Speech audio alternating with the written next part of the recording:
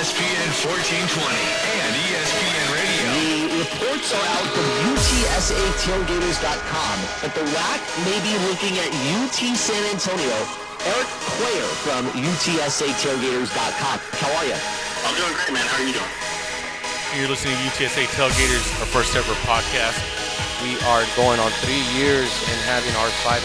We've changed going from promoting tradition to the leading sports information site for all of UTSA athletics.